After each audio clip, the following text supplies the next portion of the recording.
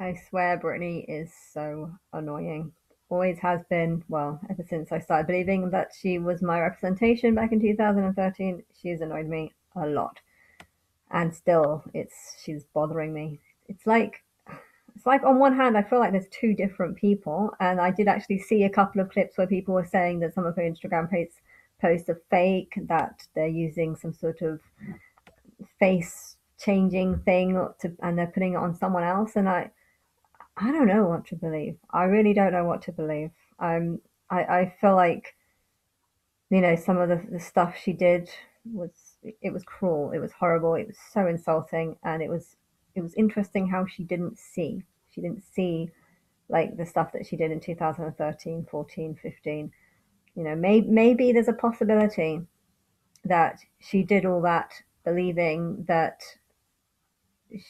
I don't know. I don't think she believed she was helping me. I think though the mindset of people back in 2013 was very, very different to the mindset now. You know, back then, you know, the possibility of God being a real person wasn't wasn't in anyone's mind, basically, only in the delusional religious people who clearly weren't out for truth at all. Like if you read the Bible and you think that truth is in there, you know, how can you tell if there's truth if if there's so many lies and there's so, so many obvious lies and you know the fact that they weren't seeing that means that they clearly weren't after truth. Um, and then with all the people that you know with the amount of people in the world amount of problems and i think the amount of people saying that god can do everything and, and just giving this completely false perspective of god you know it would only make that would only make people hate god. And so i think in 2013 when i first started telling people that i was god you know it was likely that a lot of people would turn against me. I, I think I, I, knew that. Why? Because even I turned against me. I was like, what the fuck? I'm God. Why would I create this world? Why would I want this world to be like this? You know, why would I have all these problems and stuff? You know, I wouldn't do this. And then it became the obvious answer was, well, obviously I, I can't do everything. In fact, I can't do anything. That's that's how it felt like. Felt like my higher self was telling me that I was God but also saying, yeah, shit, this world is shit, and there's obviously nothing I can do. There's obviously nothing, nothing you can do. And and then I was just hoping that you know the people and singers that were doing things about me behind my back, um, you know, I'm pretty sure that they knew. I'm pretty sure that they knew through Martin.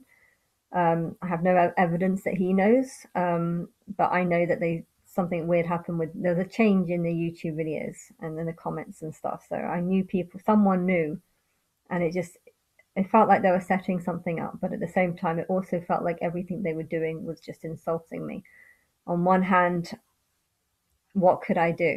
You know, if you, if you think a bunch of people are helping you yet insulting you at the same time, you know, what can you do if you know your God and you also know that this world is 100% not what you wanted it to be. It's everything you don't want it to be. Everyone seems to be doing anything backwards, knowing that you've had a, such a shit life where you can't seem to control anything. And and you, you hate your mom, you hate where you live, you hate the situation you've been put in, you hate everything about your life, you hate everything about the planet, and yet somehow you're God.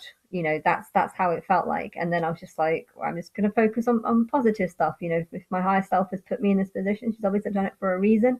And I'm just assuming that the angels are gonna help me and and and they didn't.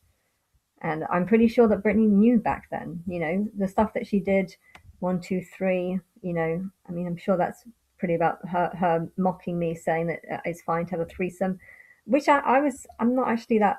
If you don't know who you want, then sometimes having a threesome or the idea of a threesome might be okay because it's like, well, you're okay, but but it wasn't nice. It wasn't nice because it, it was like, actually, I don't want either. I don't want any any threesomes. I don't understand why she did three, but I did understand why she did three because I'm the third Christ and she did it for that reason. And then there's, I'm sorry, Adam. I mean, on one hand, it's like I'm sorry didn't ate the apple. I'm not sorry that I ate the apple. I love the apple. I mean, if there was an apple of knowledge, I would I would eat it and I'd keep eating it. You know, knowledge is good. Um, and so I, I, was, you know, I was confused by everything she did, and, and the alien song that was horrible. It made me feel like, like you know about me that, but you're just going to see me as an alien, and I'm just going to have this horrible, shitty life, live in a horrible, shitty world, and also feel isolated and cut off. And it's fine to just like call me. It was horrible. Everything she did was horrible, and I, I just got a feeling what happens if if she knew this, and and at some point she started waking up and realizing wow, I'm against Anna. I've always been against Anna. What was the last song she did? I can't remember the last song she did. Um, there was one song she did off. I don't know. I don't know what it was. Maybe if I find the answer of that, what was the last song she did released before she properly went mad? Um, I don't know, but maybe she's not properly mad. Maybe maybe she realized that she's against me, realized that I'm insult that she's done nothing but insult me, insulting insulted me, and I don't know. I, I don't know. Um, and maybe she's got some temporary person in there to just mock her because but then again did she not realize that all the stuff that she's been doing in the last three years have only made my problems worse because I've still been telling people that she's my representation even though that didn't even make any sense to me. Um, and and yeah I just I don't know. I don't I don't know. I feel like I'm almost looking at two people. You know that when I see pictures of her in the music videos it's like I'm looking to, at someone different to how I see her now. And so she's she confuses me. She really does confuse me. And you know, has she has she got a, a temporary in there to just take over her, her account? I, I think there was a point where I said that there is good in her, which is that you know, if people see us, if we're similar but not the same, you know, I could say that that was my intention five years ago to to say that you know she was my representation and then see if people actually believe that you know because really she's nothing like me so um you know, it, will people believe that? But as soon as I said that, that was when the change happened. And I know that was when the change happened. And she started just, she, she went from someone who was similar to me, but slightly different to someone who's just completely nothing like me. And I think after, I, I just ignored it for a few more years after that. And then it suddenly occurred, then it, then it occurred to me when I came back to her and I started, I think it's because when I first moved here in 2017, um, I moved here because I'd given up on humans. I'd given up on on the possibility that you were ever going to help me, and I was just kind of saying to myself, I'm going to forget about it, try and just focus on my life, try and just just be happy, and just just accept that I'm living in a dustbin and and not care about anything. You know, that's that's kind of how I how I just saw it. So I, I stopped thinking about this, and then a few years later, I think it was probably actually I don't know. I, I don't know. I, I keep. I felt like I keep putting myself to sleep and telling myself I'm not God, and then and then waking up. And you know, I know I had the time with Robbie that that kind of woke me up, and and then well, still he didn't help me. And then he's had some strange fourth baby that I still don't know if it even exists. Um, and then then there was another one where where I was looking at Gaga's songs, and I suddenly realized she represented the devil, and that was like a year or two later. And and then when I LA, and another wake up, and I've been so tired in the last few days, the last few weeks even. It's just supposed to meet a friend yesterday. He didn't call me, but um, I think he's going through the same thing. I think he's feeling the same effect of the tiredness that I'm going through. He's had it all his life. He doesn't believe it's because of me. I know it's because of me because I'm God and I'm things that I'm going through are affecting people around me. Um, but if I try and tell him that, he will just be like, "That's not true." um, so it's really bizarre how to live in this and you know this thing with my sister's house you know it's it's completely insane why someone would have a three bedroomed house in Birmingham that's by your sister and yet you rather be a homeless person in Brighton. So she ran off to Brighton to be a homeless person found some Christian who had a hotel and she she was living in there free of free of rent for a couple of months which also didn't really make that much sense. I mean why why would that happen it's almost like she was trying to keep Sophie away, but technically, because Sophie was away, we had this problem with the house where it was it was empty throughout the first lockdown. We got another one tenant in there. You know, when, when we first bought the house, um, it was supposed to be with my sister and her husband and me, and that seemed fun because I know that I don't know the legal sides or the law sides, and I felt my sister was always with with uh, with her husband throughout ever since I ever since she was sixteen. They, they pretty much lived together um, and yeah, I never realized how stupid she was because she was always with him. I hardly ever saw her. When I did see her, you know, everything seemed fine. There was nothing, no problems. But I think it's because he's quite smart, fairly. He's smart for a human, um, and and then um, and and she always just did whatever he he he did, and and therefore I never saw any real problems with her. Was only when the separation happened did I realize that she she's incompetent and she can't do things and she just wants to find a partner and just do whatever he wants. I mean, that's kind of how she's been almost programmed. And and and I, I and I think George, you know, he his mother, had, his father always did everything for his mother, like even chop up her, her food on her plate. I saw that you know so that's that's how he was brought up. He was brought up to believe that the father does everything and that the woman the female has to do doesn't have to do anything. And so when he had this relationship with sophie i think he saw that as normal even though it wasn't. Um, and i never found out. I got to know i never got to real really know sophie because when i was a child and with her you know she used to copy me and do everything that i said um, like make me balls and cereals and stuff. But i liked that you know i liked her being like that. And i guess i was too young myself to to really question it um, I, I, guess I just thought that she would grow up and turn into a human being. And because I've had this such complicated, weird life, you know, if I think about Britney, you know, has she got lost lost her mind? You know, has she gone through something my sister's gone through, where she, you know, seems fine and normal because of all the people around, or in Britney's case, because of all the people around her, in my sister's case, because of George. Um, you know, has she always had this mental illness, or, or or has it has it just been something formed? Or is it is it that she halfway through the trip like five years ago realized that actually everything she does is a massive insult to me and maybe she started seeing the beast that i'm seeing? I sometimes feel like i read into things and i see things that aren't the truth but it almost feels like my higher self is just trying to scare the shit out of me. Um, and yeah she's very good at doing that. Um, did she do that to her? Maybe that's why she's gone mad or does she Britney even know about me? I, I just I don't know. I really have no clue. Um, and yeah, this thing though, it, on, on one hand, it's bad that Sophie ran off and just abandoned this house that she is technically hers because you know they were they owned three quarters, I owned one quarter, and because he was Sophie's partner was was good with like um, documents and stuff. You know, he was supposed to handle all that, and I was supposed to just kind of manage the property, and if anything you know, if any problems really happened, I could go to them. But that that never happened because they've split up. Sophie's got that house as part of her divorce thing, and and Sophie seems to have absolutely no interest in it. You know, I tried to get her to mow the lawn.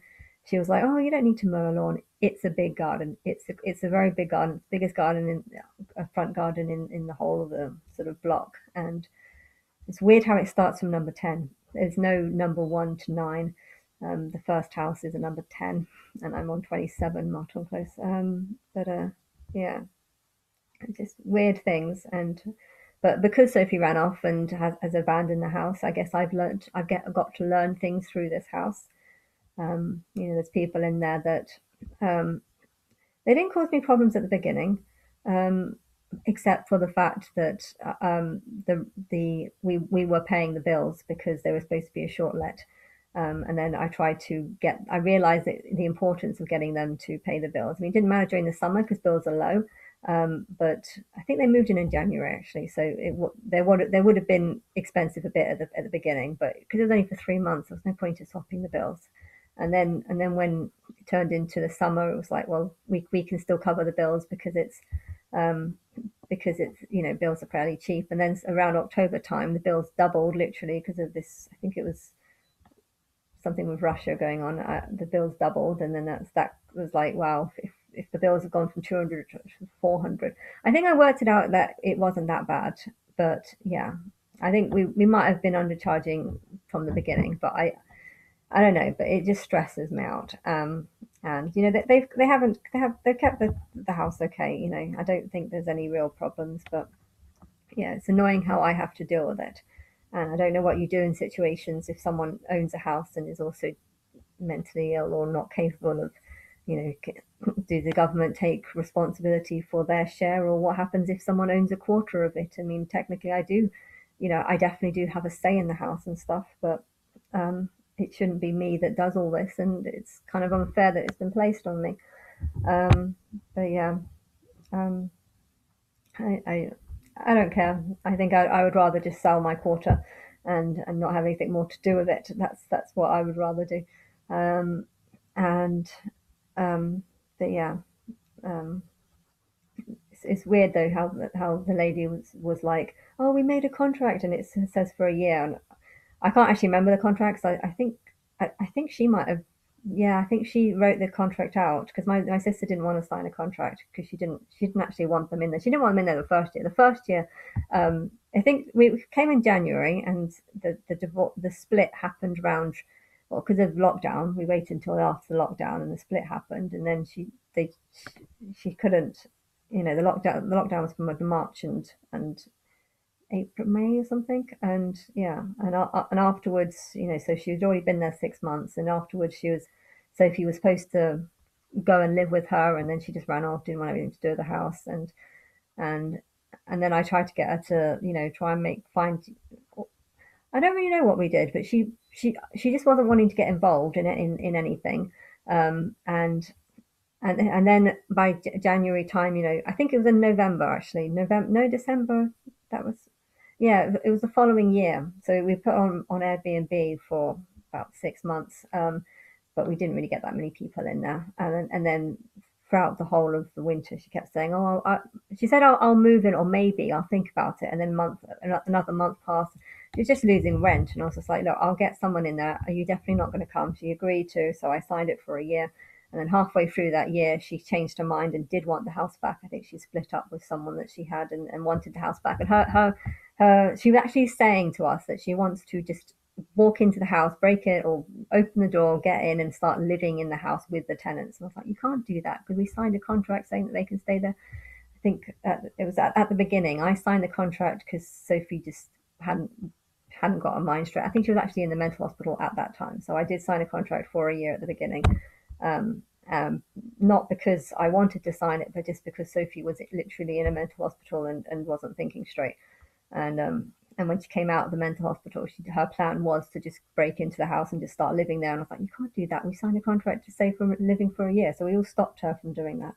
But yeah, after the year ended, um, she sometimes was just settled down there and didn't really want to come back. So we we kind of did a verbal agreement where you could stay longer and, and stuff and and yeah, that's basically how it started. And and now caught up in this in this big mess of what to, what to do. Sophie does want them out, but um, she has to, you know, give a few months, and, and she's not even, you know, the late she did. I, I told her a few months or to, to talk to Sophie about this because it's not my property, it's her property.